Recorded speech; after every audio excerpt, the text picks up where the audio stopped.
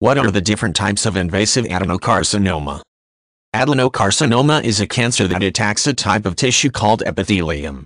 This type of tissue is found throughout the body, which means adenocarcinoma can affect a number of organs. While many organs can be affected, most of the time this cancer will develop in the colon or the lungs. Invasive adenocarcinoma occurs when the initial tumor grows into surrounding tissue. This condition can develop along with any type of adenocarcinoma and can lead to a terminal case of the disease. One of the most common types of invasive adenocarcinoma is found in the lungs. About 40% of new cases of lung cancer are classified as adenocarcinoma, which makes it the most commonly found form of lung cancer. Invasive adenocarcinoma of the lungs can be treated with a number of traditional cancer treatments, including surgery, radiation and chemotherapy. Invasive adenocarcinoma also commonly develops in patients with colorectal cancer.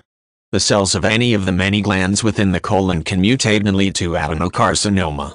This type of cancer is quite prevalent compared to other cancers and, though it is responsible for many cancer deaths each year, it is often treatable if caught early, even if the cancer has become invasive. Surgery is often one of the primary treatments used, and radiation and chemotherapy may be administered to kill off any remaining cancer cells in the patient's colon. Cancers of both the male and female reproductive systems also can be adenocarcinoma, which can develop into invasive adenocarcinoma as the tumor takes over the healthy tissue in the organ. In men, most cases of prostate cancer are adenocarcinomas, making this one of the most common types of cancer found in men. In women, cancer of any part of the reproductive system, including the cervix, uterus and vagina, can develop out of the epithelium of these organs. Invasive adenocarcinoma of these organs is relatively rare in developed nations, because women are frequently screened for these types of cancers. This means the cancer is found and treated before it has time to become invasive.